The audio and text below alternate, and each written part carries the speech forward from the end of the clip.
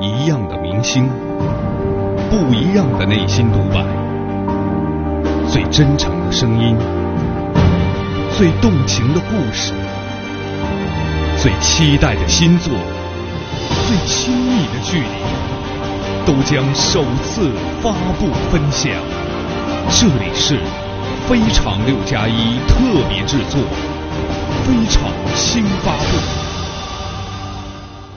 有请发布嘉宾马琳。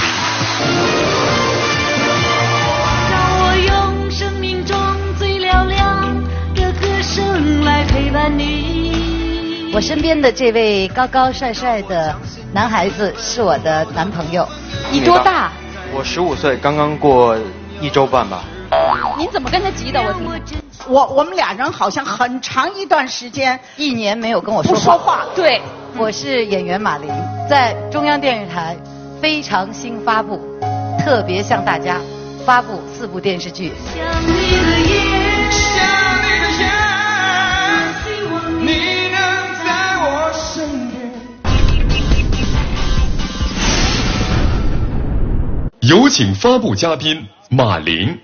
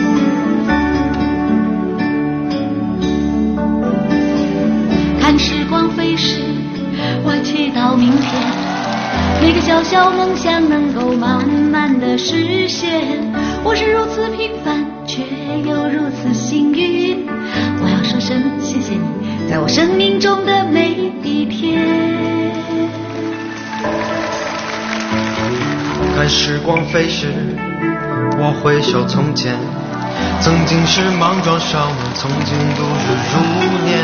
我是如此平凡，却又如此幸运。我要说声谢谢你，在我生命中的每一天，让我将生命中最闪亮的那一段与你分享。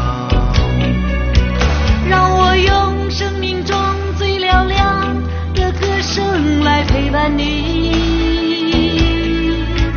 让我将心中最温柔的部分给你，在你最需要朋友的时候。让我真心真意对你在每一天。让我将生命中最闪亮的那一段与你分享。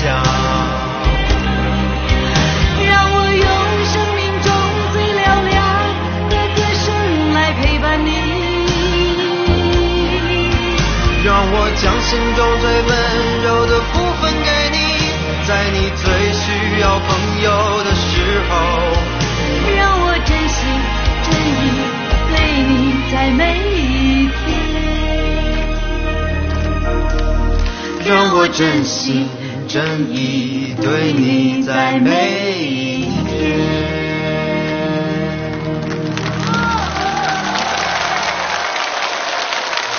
大家好，我是马琳，非常荣幸来到非常新发布。我身边的这位高高帅帅的男孩子是我的男朋友，以后将会是别人的老公。他是我的儿子刘爽，Tony。嗨，大家好，我是刘爽，马玲的儿子。那么今天特别高兴，我来了很多我的好朋友，有我的妈妈，有 Tony 的同学，他的伙伴是来自美国的 Top Chef 舞团的各位成员。谢谢大家，他实在是太亲人了，个子这么大。今天我的主场，儿子先下去跟你的伙伴坐一起。谢谢大家，谢谢大家。编导说我要介绍一下自己，说实话，我真的没有好好的介绍过自己。可能大家比较熟悉我的应该是做演员的马琳，对吧？呃，还有呢，就是做过服装设计师，啊，所以我现在呢，先跟大家聊一下关于我做演演员的经历。嗯，北京的老百姓，还有全国的很多的观众朋友们，大概是从呃《我爱我家》《爱你没商量》开始熟悉我的是吗？那么呃，今天呢，我们也有一些老片子的片段，给我们的九零后、八零后不熟悉我的观众看一看，好吗？哟，周华，去哪儿啊？周华，打扮的这么漂亮。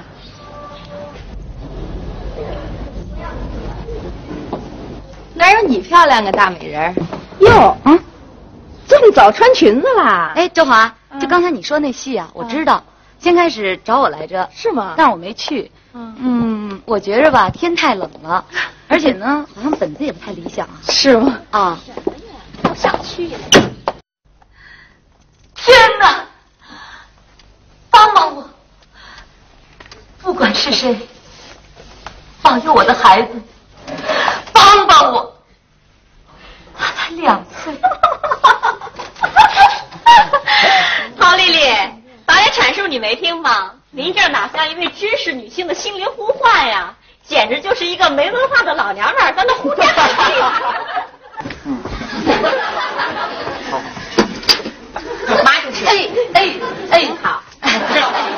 听了贾志新的英雄事迹以后，我是心潮起伏，热浪翻。哦哦，作为一名文艺工作者，啊，哎，我们有责任歌颂英雄。啊，我现编了一段京韵大鼓，啊，麻烦你给录下来，晚上一块播。哎，金儿同志啊，实在对不起，我们这是专题栏目，不是文艺部。没关系啊，您搁文艺栏目里也成啊。您体谅我呀，二十多年了没上过电视，好不容易有这么一次机会，您说我能轻易错过吗？是不能。我这样，我就算半拉清唱了。哎啊，麻烦您呢，回头帮着喊声好啊。其实，呃，真正演电影比《爱你没商量》和《我爱我家》更早的作品呢，应该是电影《摇滚青年》啊。那一年呢，我记得呃只有十八岁。我呢从中央工艺美院的服装设计系毕业以后，呃，分到了一个专门做服装设计的地方，叫做北京服装设计中心。这时候呢，我的一个同学。呃，就跟我说说的马玲，有一个地方要拍一个电影，这个电影呢非常的时尚，用现在的话就是非常的 fashion，非常的 fashion。那么呢，希望要一个服装设计师，你愿意去试试吗？于是我就带着我的服装作品的集，呃，有一些画的图，非常认真，骑着我的大自行车就去了在青年电影制片厂。去了那儿以后呢，就见到一位叔叔。呃，他就是田壮壮导演，然后这个叔叔就说啊，你这作品不错，我们考虑一下，呃，看你这个是不是来做这个服装设计师啊？又是工艺美院毕业的，不错呀，啊，呃，三天以后，副导演李彤告诉我说，好，剧组决定聘任你当这个电影的服装设计师了，啊，我非常非常的快乐，特别特别高兴，然后又被单位派派到了呃云南大学去讲课，我就又远赴了云南。在我在云南的时候，突然接到了一个电报，我母亲发给我的，说马玲赶紧回来，你的剧组有变化。我一想，哎呀，我我终于能有一次独立设计的机会，去给一个电影做服装设计师，有变化，这太可怕了。所以我真的好担心，急得不得了，赶紧往北京返。当我返回北京了以后，背着大包，又骑着我的大自行车去见了田壮壮之后，田壮壮说：“是这样啊，我们考虑了一个事情，呃，你的服装设计也不错，但是呢，你还有同学做这个，对吧？推荐你另外一个同学来，呃，怎么样？”我说：“你你们不要我了，把我开了？”他说：“不是不是，我们是这样综合考虑，你的师兄陶金在我们这个剧组呢是男一号，呃，综合你的素质考虑呢，他说你也会跳舞。”我说：“是。”然后我们的摄影师呢叫肖峰，他说呢看了二百多个女演员了，需要一个长得不恶心的就行，所以呢觉得你长得不恶心又会跳舞，你来演女一号吧。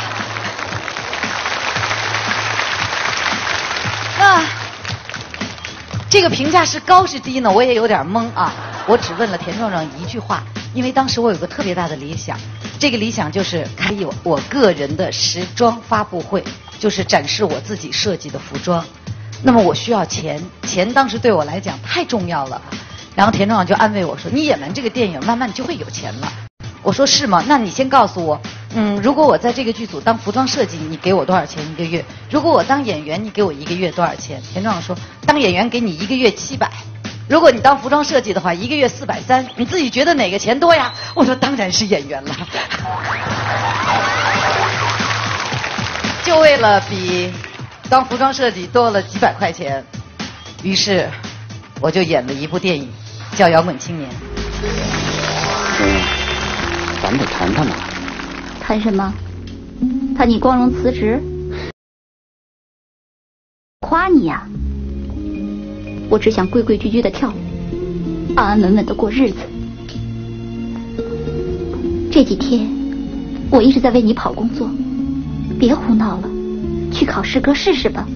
我已经联系好了，就算为我，好吗？得了，别自我深刻了。你看，我已经上火了，哦，两个大泡，可疼了。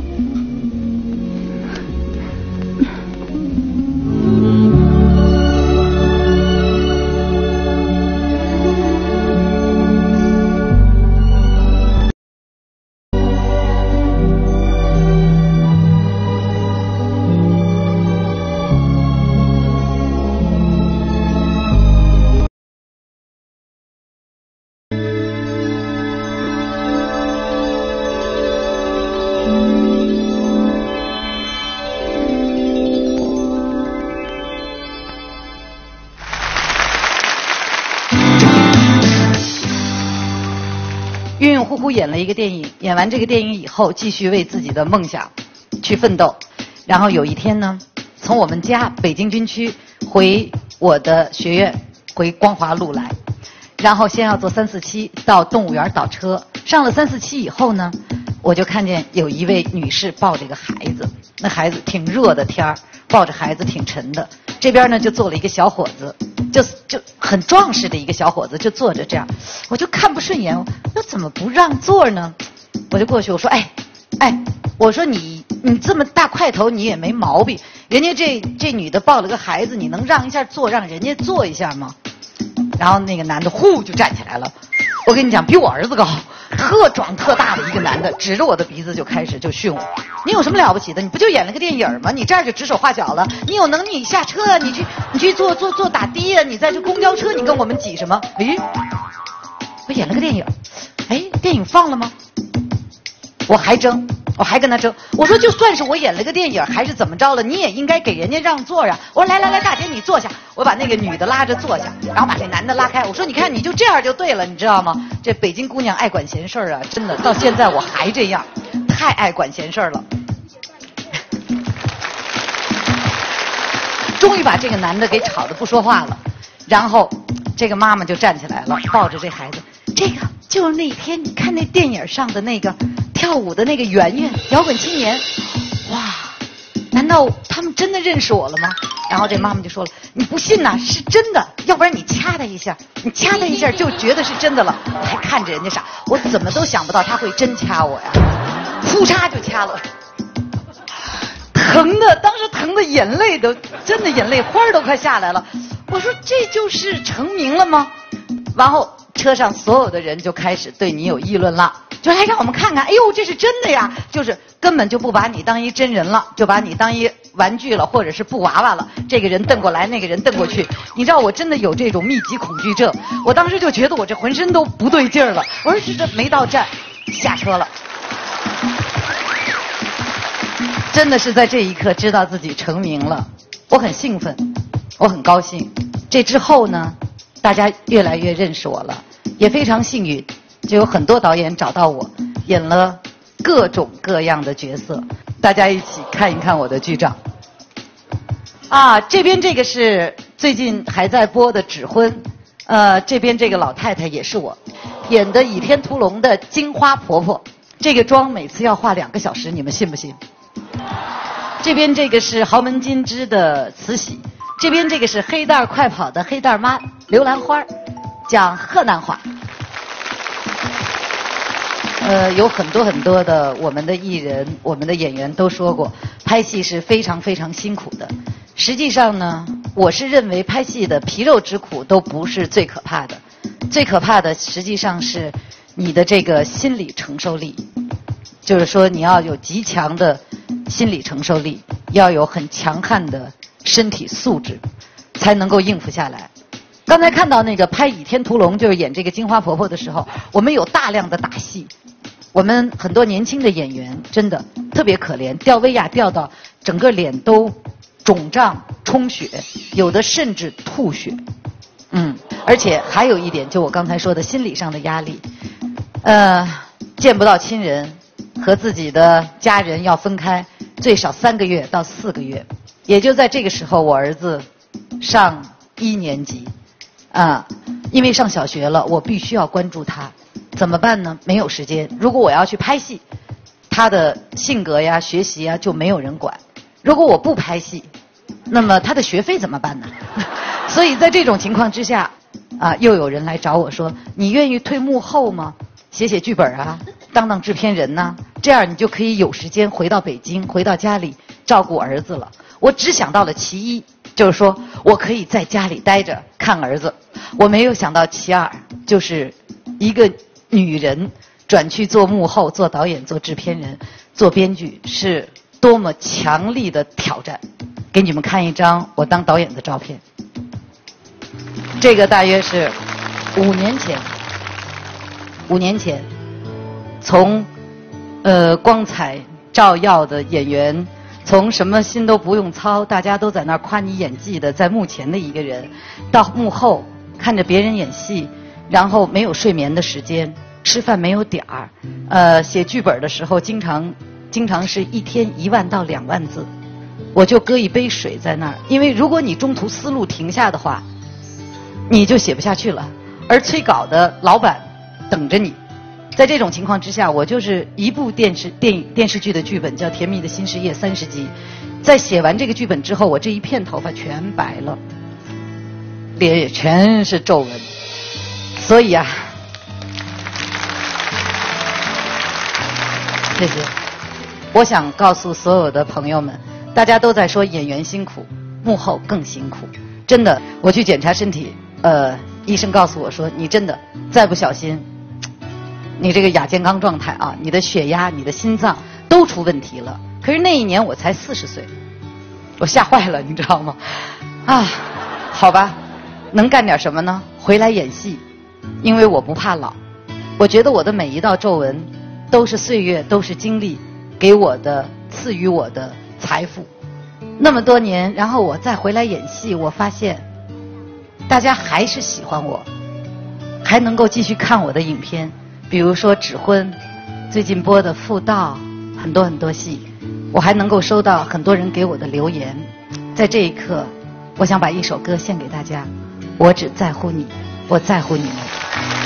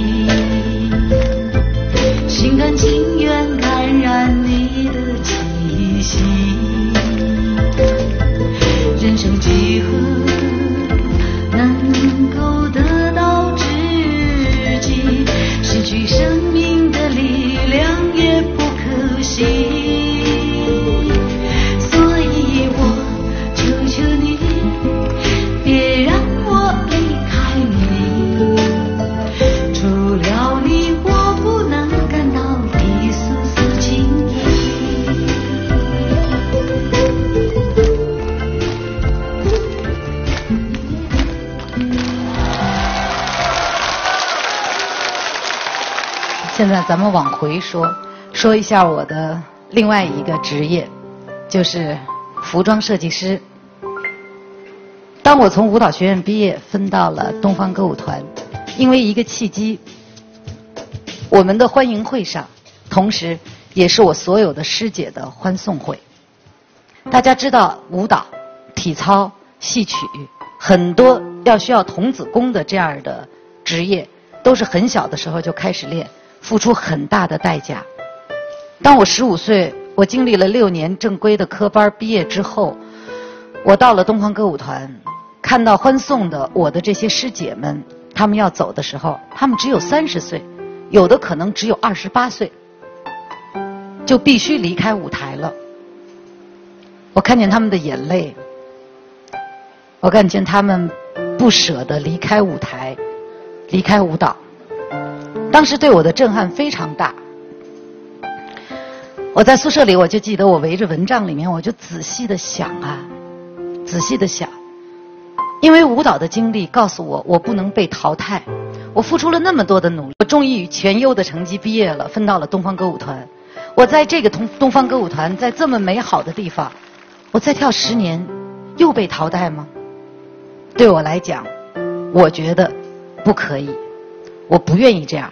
虽然当年我只有十五岁，我决定捡起我的画绘画，我想去考一个画画的大学。于是呢，就跟很多朋友在一起去上民族学院的一个美术补习补习班。这个时候呢，一起学画画的很多年轻的朋友们就说，说的我们一起去，呃，中国美术馆看一个展览。这个展览呢是法国一个设计师叫做伊夫圣洛兰来中国举办的服装展。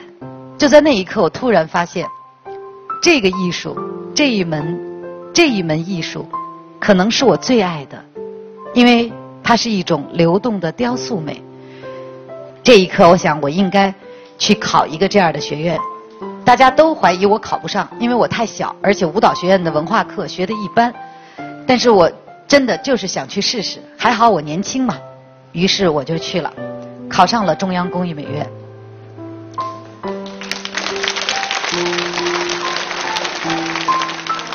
中央工艺美院已经没有了，变成了清华美术学院。但是我还是依旧是中央工艺美院毕业的毕业生，感谢这个学院给我的一切。毕业以后，于是我开了我自己的时装发布会，也是中国的第一个以自己的名字、以设计师的名字命名自己的时装系列作品的设计师。在之后又得到了法国的约请，于是我就去了法国巴黎，带着我们自己的模特儿，带着我设计的七十多套服装。在蓬佩杜中心表演，之后获得了法国女装的设计金奖。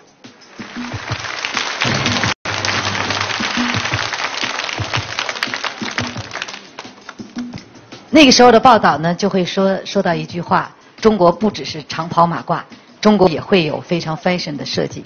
下面我们看一下图，这三组，大家能够知道这个设计灵感来源于哪儿吗？花脸，对吧？看得出来吗？中间是窦尔敦的花脸，蓝脸的窦尔敦，是这个？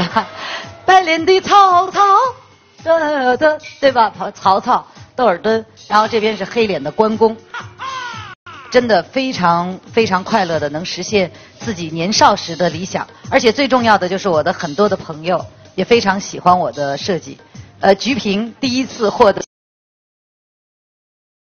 菊萍姐姐，然后配乐 好奇怪啊。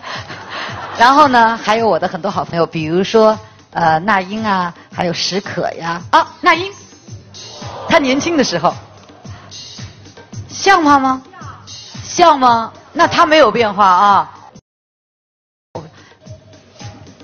这是史可，朱旭，史可，嗯，呃，菊萍姐姐、倪萍姐姐，还有我们北京台的主持，嗯，还有古一大姐，嗯，李古一，嗯，还有伟伟，非常的快乐，就是他们都喜欢我设计的时装。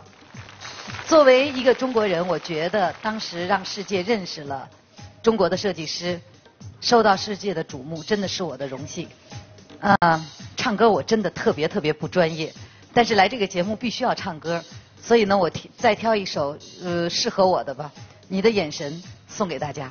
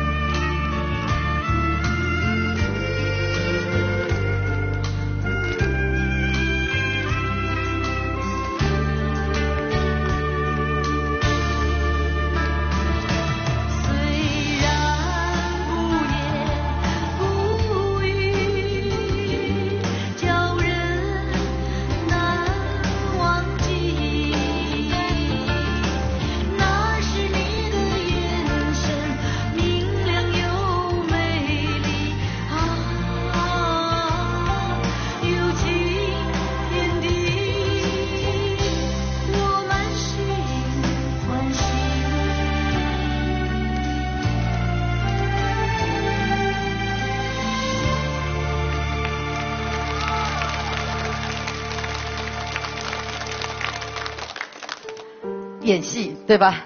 然后服装设计，然后我的公司呃，一九八九年成立，走过了非常不容易的二十多年，最终真的太疲惫了。我想，也许我五十岁的时候，会不会重新捡起这一份我为之付出许多许多努力、洒过许多许多汗水和泪水的事业？还能不能捡回来？我不知道。但是希望大家穿过马林时装的人还能记得他。谢谢，一路走来那么多人帮我。哎，今天在这儿好，可能是刚才这首歌让我觉得有一点感慨。我们打破这种感慨，我实在不喜欢这种感觉。有请我的好朋友。我认识快三十年的朱迅，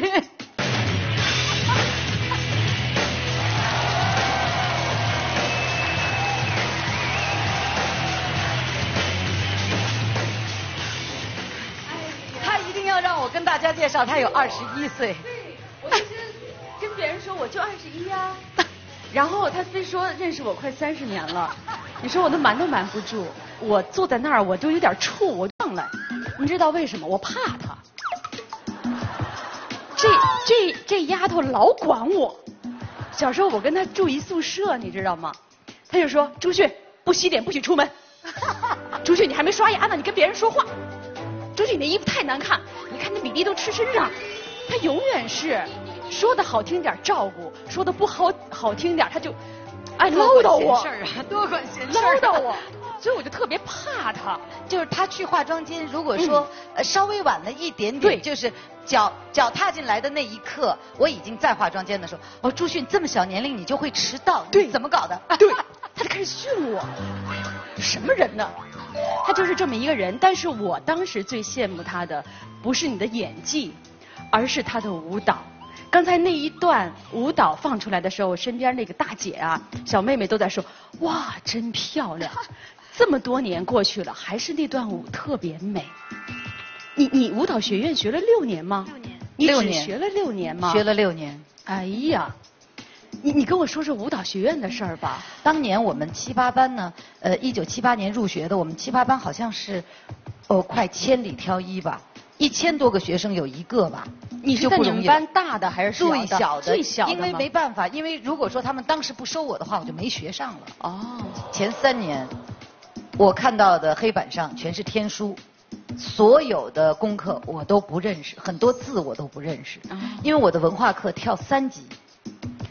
所以所有的同学，他们去 happy 的时候，他们可以去吃零食的时候，他们可以去休息的时候，我都必须在教室里面读书，必须在教室里面补课。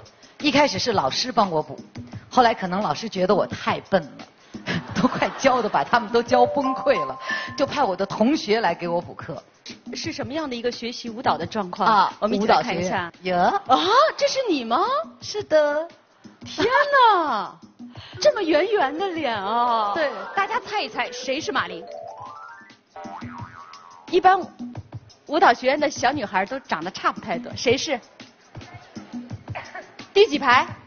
有人说第三个，就是斜着眼睛看的是吧？有的人说最边上那个马琳，但是我个子最大，是这边这个，最这边这个，是吧？我们班我最小，但是我个子最大，我是我们班最胖的一个女生。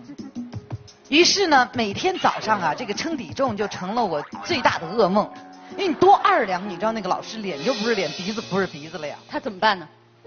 跑步去，跑步去，穿着塑料裤一直穿到这儿。塑料裤你们知道吗？就是咱们现在女孩子武汉的那个，一直穿到这儿。陶然亭公园，三千四百米。这一圈吧跑回来，不行，再上体重，还是超标三两，怎么办？超标三两，超标三两，按两算是吧？按两算。哎呀，接着跑陶然亭公园，三千四百米，再跑一圈，回来再跑一圈，再上秤，再上秤，超标一两，还是超标。就这样练啊，就是每天三千四百米，陶然亭公园三趟。天，你知道吗？我最少有半年是这样过来。我们知道，一个学舞蹈的姑娘一定是特别能吃苦的，对你以后的事业会有帮助吗？我发现我遇到很多挫折的时候，比如说一部电影拍到一半心力憔悴，真的想跑的时候，比如说好不容易这部电影上映了，遇到评奖被拿下的时候，我曾经有六次金鸡百花提名奖，六次六吗次，可能是中国女演员获得提名奖最多的一个人。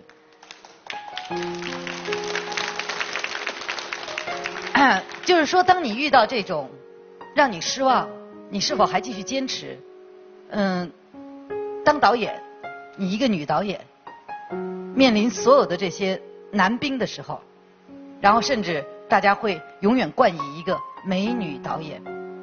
所谓的美女导演，就是轻视你的智商和你的能力。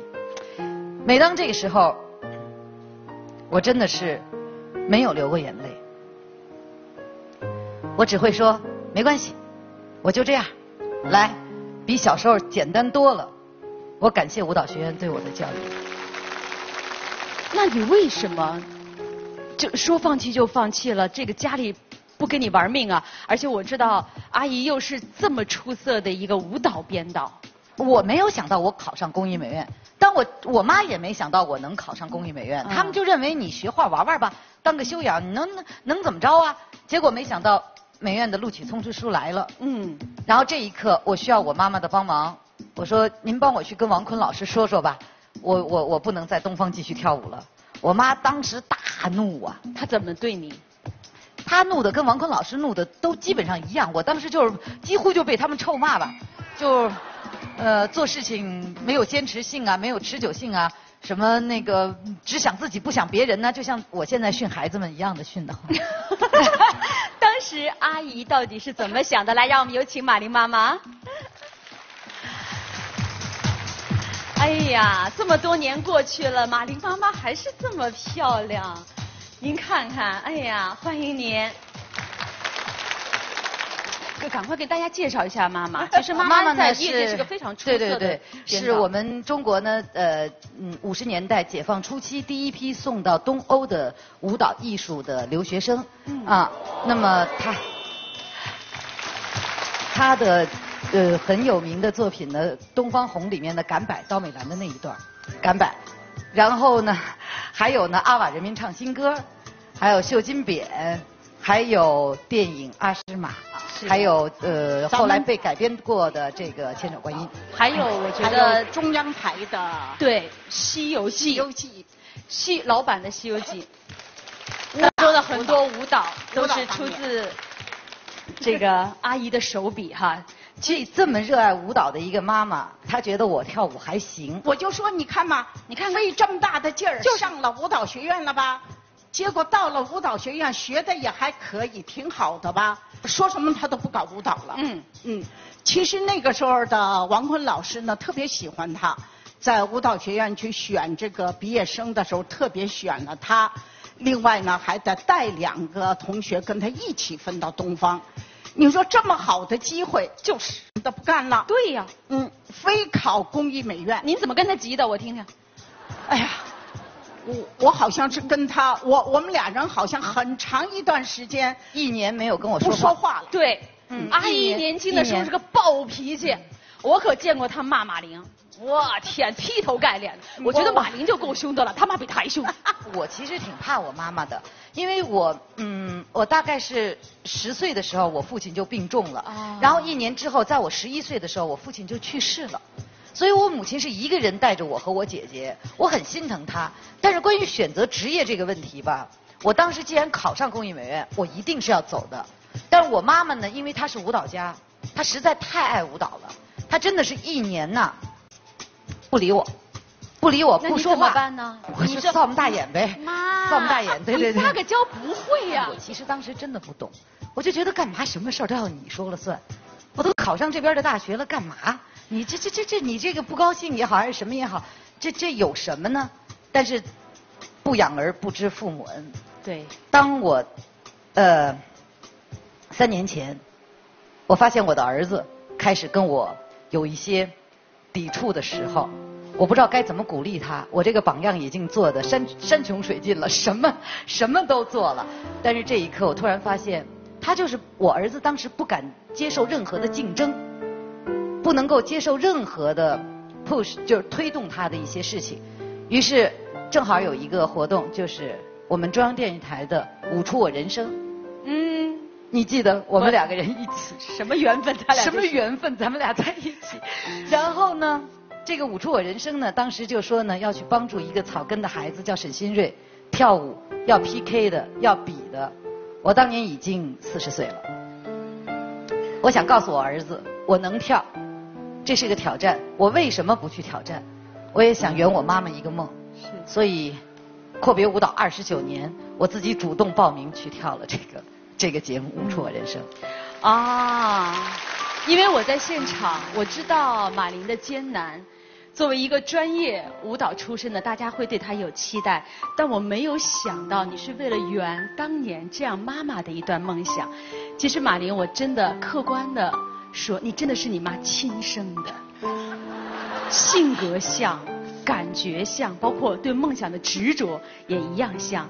这么多年，我觉得妈妈会很安慰，因为女儿终于能够体谅您当年的那番心思，用心良苦，是不是马玲？对我觉得给妈妈一个特别大的拥抱，跟妈妈撒撒娇，好不好？这就是女儿该做的，就是经常拥抱。你看看，你看看，我对付我妈最好的方式，妈，这一声儿，妈的心都碎了，都醉了。这个很少，这很少，是不是？以后会越来越多的，好不好？我觉得今天你得表示一下，那么多年也跟妈妈倔了不少，拧了不少。你看，温柔一点看妈妈，不许皱眉头。哎，乖。来吧，今天说好了，我从来没有听马玲唱过这么多歌。啊，真的是，刚才都唱咳嗽了。来吧，再用一首歌，嗯，献给妈妈。谢谢，谢谢好谢谢谢谢妈妈。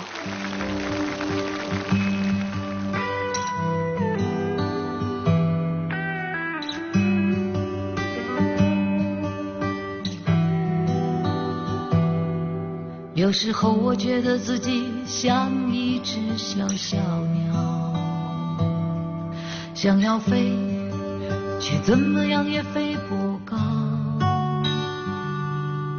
也许有一天我栖上了枝头，却成为猎人的目标。我飞上了青天，才发现自己从此无依无靠。所有知道我的名字的人啊，你们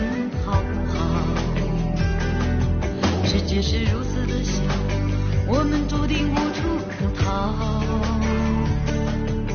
当我尝尽真情冷暖，当你决定为了你的理想燃烧，生活的压力与生命的尊严哪一个重要？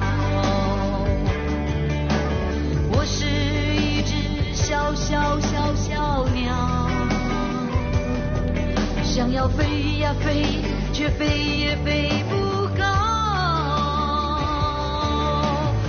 寻寻觅觅，寻寻觅觅一个温暖的怀抱，这样的要求算不算太高？我是一只小小小小鸟，想要飞呀飞，却飞也飞不高。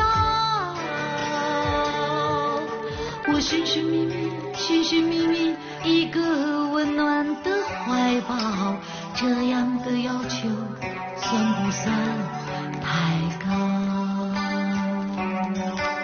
这样的要求算不算太高？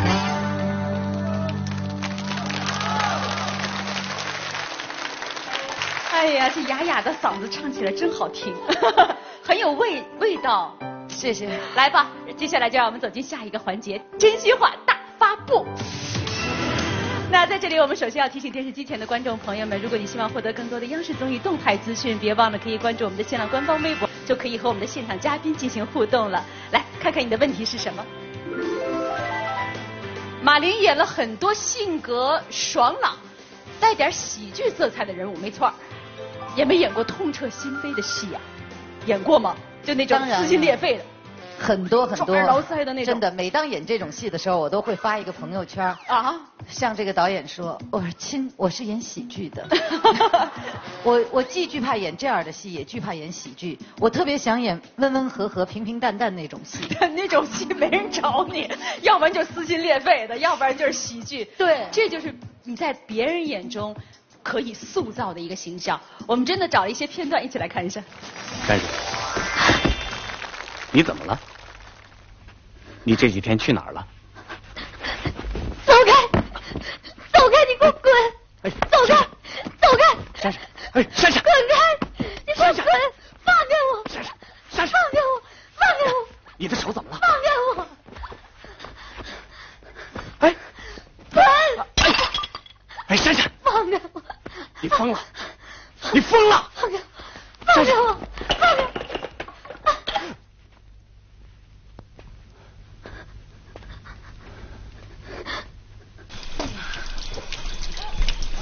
妈，你受伤了？没事没事，擦破点皮，没事。妈呀，不会骑车，笨，摔了一跤。大儿，你那球鞋明天妈给你换啊。妈，你的伤没事儿，拿毛巾去。妈，我不参加运动会了。啥？啥？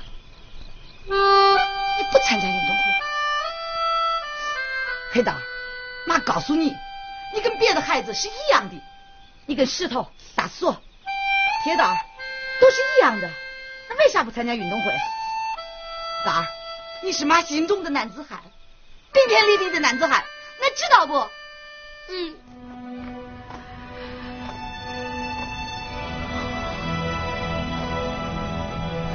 婆婆，你是真心让我去送的吗？我真心也好，不真心也好，你赢了。玉和我带隔世的少华，我那儿谢谢你了。我喜欢最后这个角色，入木三分。恶婆婆，恶，她是个恶婆婆吗？恶婆婆就是妇道，对妇道这个戏。真的。我接这个剧本的时候呢，因为剧本没有完，我看到呢也就哭到第五集就不用再哭了，就开始作他儿媳妇了，哭的都是他儿媳妇的事了。我以为是这样，结果没想到到第八集他又出事了，又接着开始。所以整个三十五集就是这个角色哭到我，我又不会点眼药水，特别奇怪，别人点眼药水都可以往下流眼泪，对吧？我点眼药水眼睛越来越清亮。那 什么眼泪啊，这全没了，你知道吗？怎么办？这全是真哭啊！那中间那个真的是跨度非常的大，是一位农村的妈妈是吗？对，黑蛋快跑。你这倒的什么口啊？河南河南话话。啊，那时候那天学河南话。啊。不能改，可中。可中中，那个孩子是为什么不能去参加运动会？那个孩子呢，是因为他呃有一个车祸，把孩子的父亲没了，然后孩子的腿也折了。哦。就是他的这个剧本，看到我真的是流泪。嗯。就是写了一个母亲的这种执着，而且是个农村妇女的执着。演恶婆婆，演农村的残疾孩子的妈妈，第一个女孩，你是一个。为什么要发疯的一个女孩？你是精神上有些障碍吗？对，那个是呃热线电话，刚才那个片子是那个长影的百花奖的获得的一个影片，嗯，它讲的是一个有抑郁症的女孩。哦。那一年我的眼神怎么都那么吓人？对我演这部戏的时候可能才二十二岁、二十三岁，为了演这个角色，我去跟抑郁症的女孩采访他们半个多月之久。那你不抑郁吗？有了。真的非常非常的危险，就是我不能太激动，我一激动哗哗眼泪就掉，就是接近这个角色，所以有的时候我说的演员的这个心理压力确实是很大。确实有很多好的演员跟我说，就是完成一部戏之后很久好几个月都无法从那个角色当中走出来，很难。这个时候有时候很真的很危险的。对，最可爱的实际上是我演慈禧，我演完慈禧以后，我们家的 你千万别走，你马上走出来。你马上从圆明园里走出来。我曾经演慈禧，就是说演那个演演慈禧演老佛爷嘛。然后呢，我们就一起出去化妆，化妆组一起出去吃饭，然后在咱们的怀柔吃红鳟鱼。然后红鳟鱼那哈呢，就服务员就离得很远，就怎么叫都叫不来。我们那些朋友就去喊：“哎，服务员，你过来一下，你那什么什么什么的。”然后我就急了，声音非常的有底气，很黄气的说：“来人呐！来人呐！一拍桌子，来人呐！”然后呢？服务员说他要干嘛？入戏，好演员。来，我们看看下一道问题。都说你是个辣妈，嗯，你平时怎么教育孩子的？今天宝贝儿子也来了，是不是？对，来，还等什么呢？早就盼着让他上来了。来来，他叫什么？Tony 小水儿，小水儿，刘爽。来，让我们掌声欢迎他。来，小水中间中间，水哥。水哥，水哥，是的，小明，小明叫水哥，我的朋友都这样子叫我。哦，就是我们台有一个水哥，就是水军义，水军毅大哥，我们经常，你们亲的朋友都会叫他水哥哦，你怎么这么高啊？你有多高啊？呃，一米一一一米八。你多大？我十五岁，刚刚过一周半吧。你十五岁？是的。天哪！孩子们们都是这样快的成长，在我们不知不觉时。哎，你你那你是在上初中还是高中？我今年上呃九年级，在中国应该是初三，但是在美国应该是高一了。哦，你是多大走的？呃，我十二十三岁走的，十二岁快十三了吧？那也有几年的时间了。没想到儿子蹭蹭蹭蹭蹭，现在你可以靠着他的肩膀撒娇了。在美国那么长时间了，我听说你的伙伴们也来了，是不是？是的，我的呃跳舞团队 Pop Shop。Pop Shop，你看看，在国外没闲着。来，孩子们。呃，这是我的舞团。首先，我给你介绍我自己，我是 Tony 刘爽。呃。Hi，I'm Katie。I'm Ray。我叫 Amy 张。I'm Noah。这是你的同学们吗？social 的伙伴。呃，今年既然小伙伴们都来到了北京，我觉得不能轻易的放过你们，是不是能给给大家带来一段？是的，我们会献上呃一一支舞叫 Get Up。Get Up。希望大家喜欢，谢谢。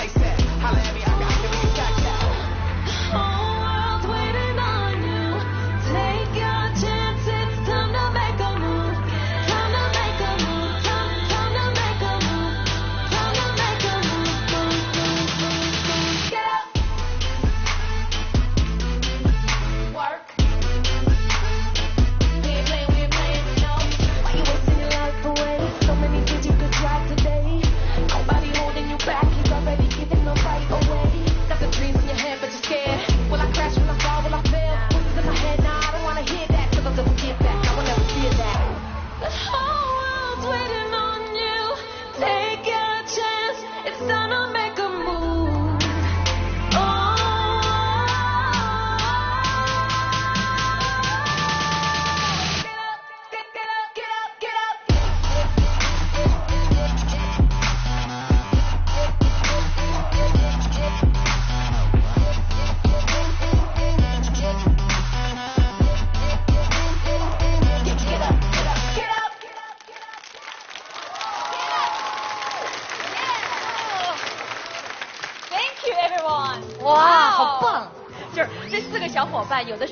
来，有的曾经在中国住过，但是他们都是。真是爱上了中国，准备搬到这儿来了呢。虽然是一个玩笑，但是我们也期待有更多更好的交流，好不好？Thank you, thank you, everyone, thank you. so much, thank you.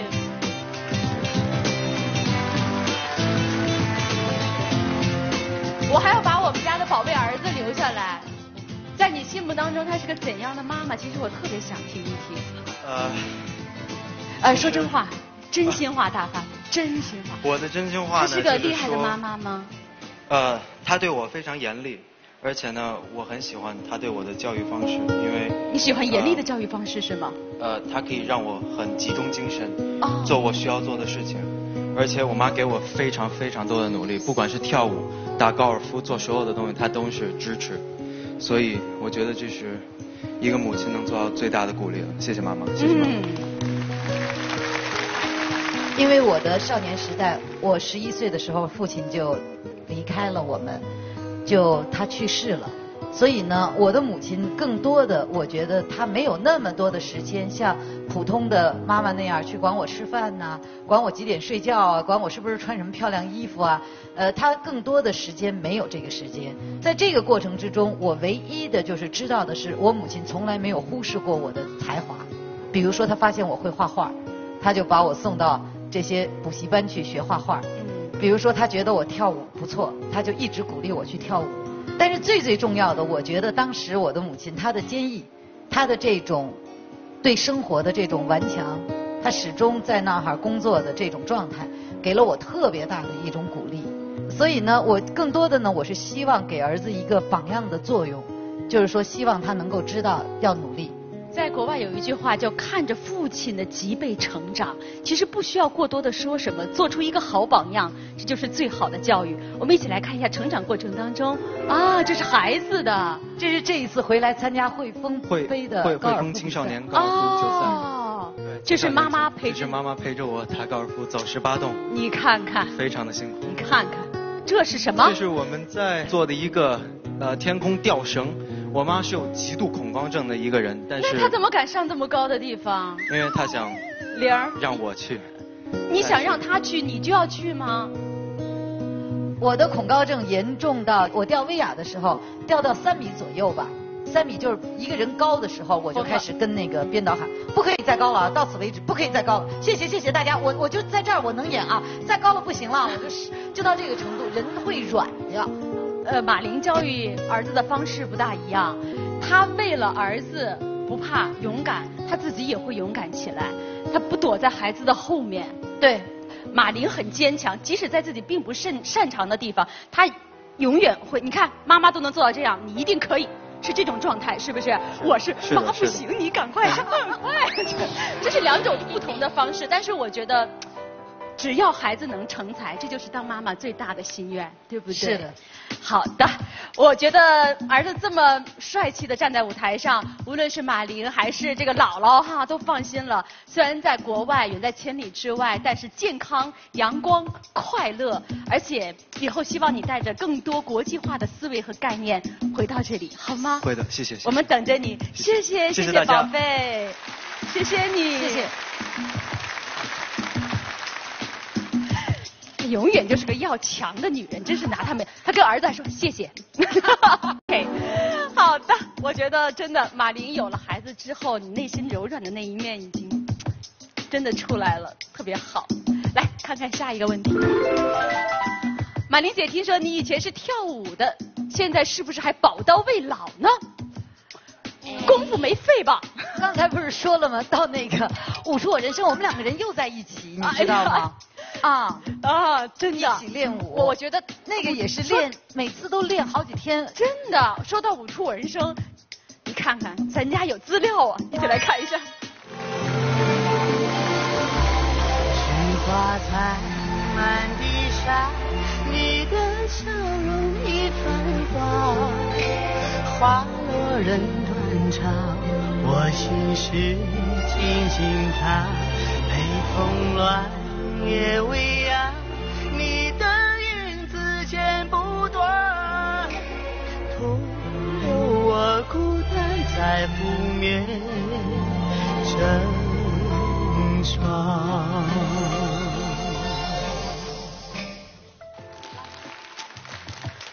这个中国舞的功夫还没有废，而且我必须跟大家说，因为我们是从不说从小一块长大的吧，就是反正就啊三十年前就认识了。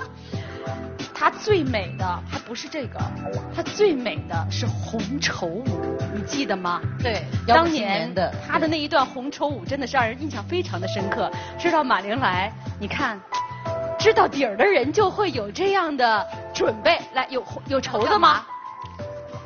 这是干嘛？你说呢？你 猜？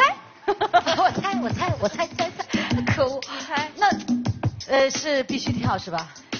呃，一般来说我说一不二，虽然我是被他骂大的，但这个是我们的主场。那个我我换鞋，我换鞋，我这鞋跟太高了。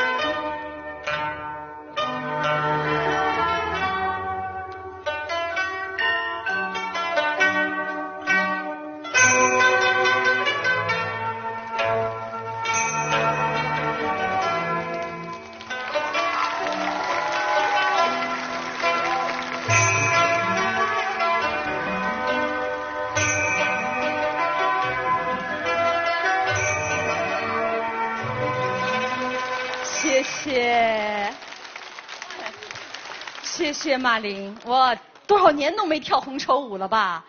对呀、哎呀，我我其实这不是他最好的发挥水平，他那个大跳，啪那个，啪那个，那是年轻的时候。当年我三十年前这段真的是特别美，大跳那个哈，小燕飞什么的啊。那个那个叫紫金冠，我就被老师罚的，就跳那个，我们老师罚我一边跳五十下。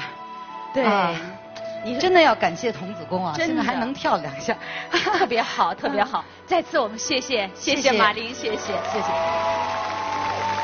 今天马琳来到我们的现场啊，主要是要自己的新作品要发布了，到底是怎么样？而且导演是如何来评价马琳的？我们偷偷去拍了一段，一起来看一下。非常新发布的观众朋友们，大家好，我是英达。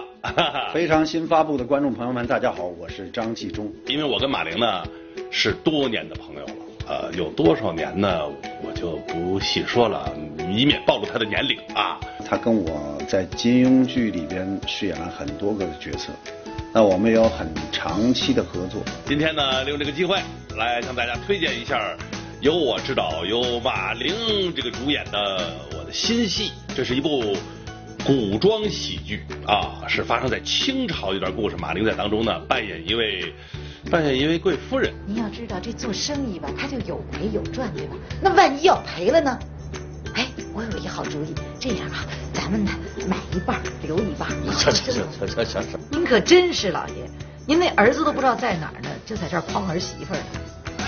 在我的许许多多，几乎可以说是每一部戏当中啊，都扮演了重要角色，呃，也使得很多观众朋友，包括我在内呢，更多的发现他的喜剧天赋。比如说这一次《侠客行》里边，她演的这个史婆婆，她发挥了她身上不少的喜剧的色彩。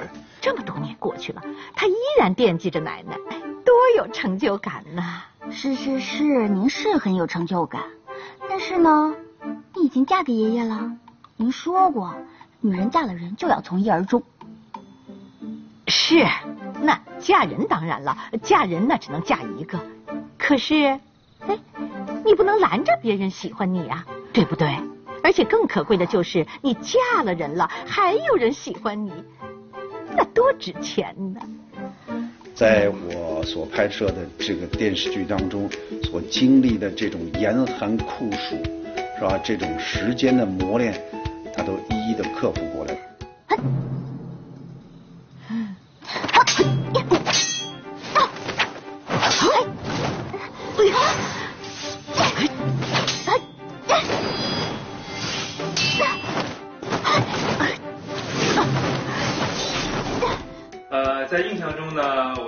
是一个非常认真、严肃的人，尤其是大眼睛一瞪，呃，感觉非常非常的严肃。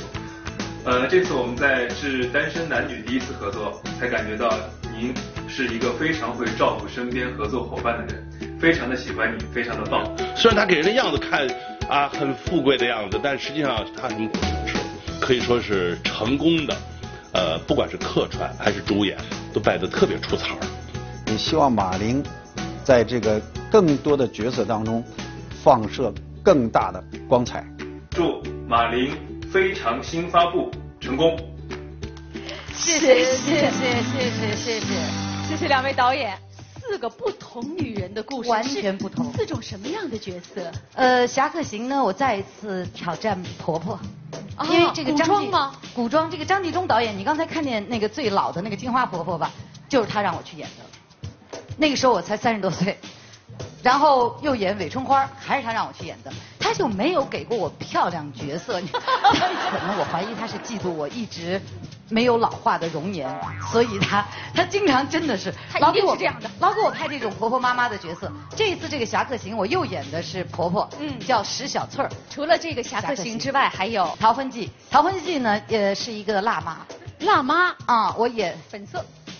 不太本色，这个妈也是把我累得够呛，就台词巨多无比，啊三三页纸两页纸的一场戏，人家刘涛马天宇都不用说话，你就叨叨叨叨叨叨，对对对，怎么说都有理，就是那种万事都有理的那种婆婆。还有呢，啊，然后呢就是英达的龙炮机车啊，这个轻松，因为是老朋友嘛，对，演演过《我爱我家》，对，演一个那种特别。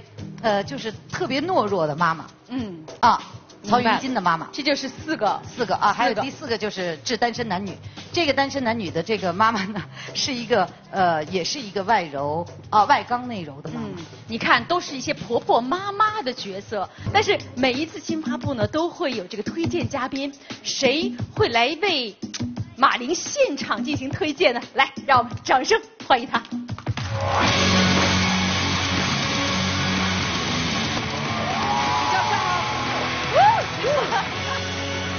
让我们欢迎歌手关喆。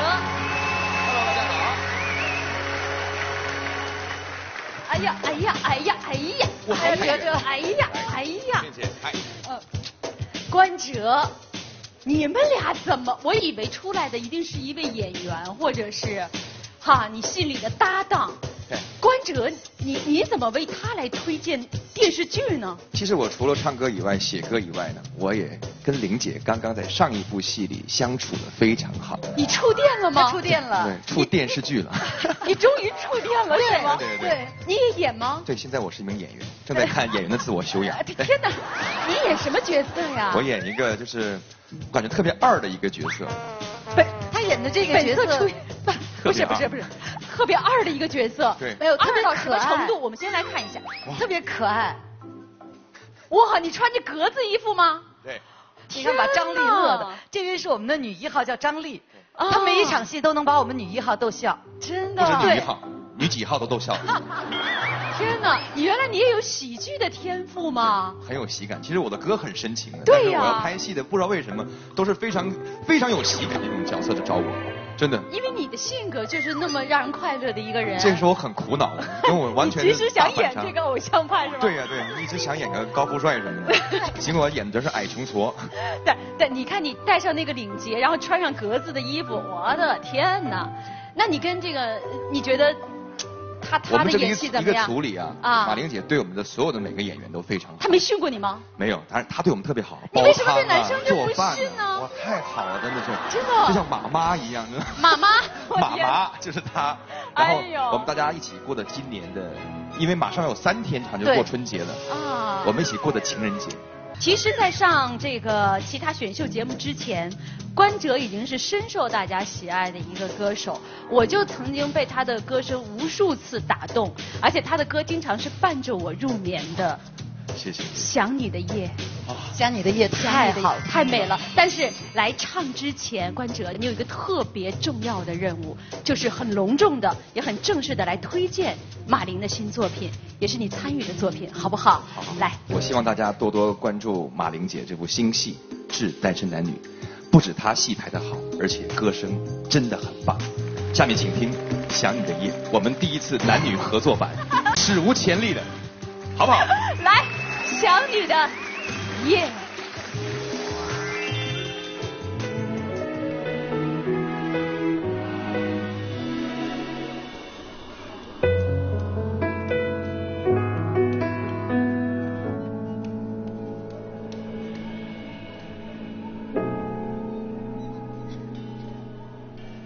分手那天，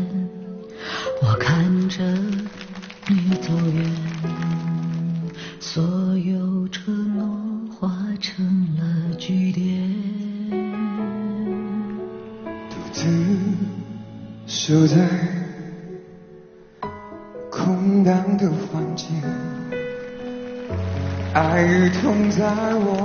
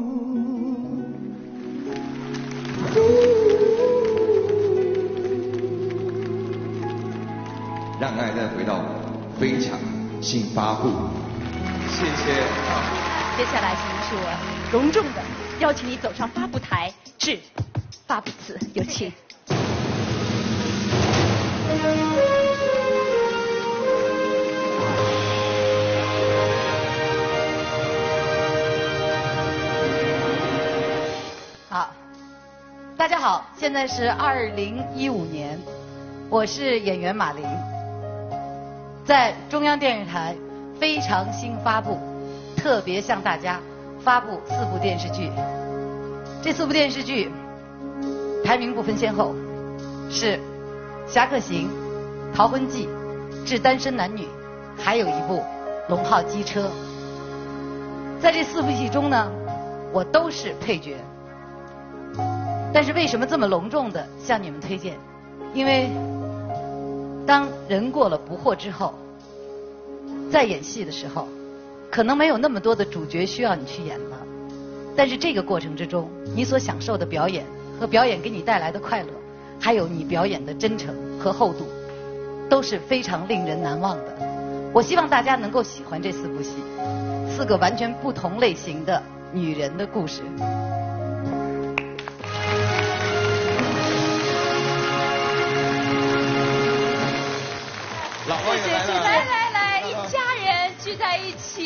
特别高兴这一路走过来，看到了马琳的坚强、爱和快乐。希望你永远这样快乐下去，绽放你的坚强。谢谢朱熹，谢谢哲哲，谢谢我们的非常新发布，谢谢所有今天到场的观众朋友们，谢谢你们一路谢谢马琳，在所有他爱的人的包围当中，这一期新发布发布成功，耶谢谢，非常新发布，不一样的明星发布，我们下期再见。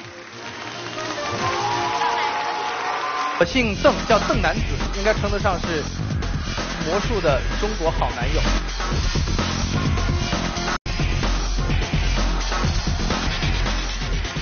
我曾经有一段时间认为我就是魔术魔术界的一本活字典。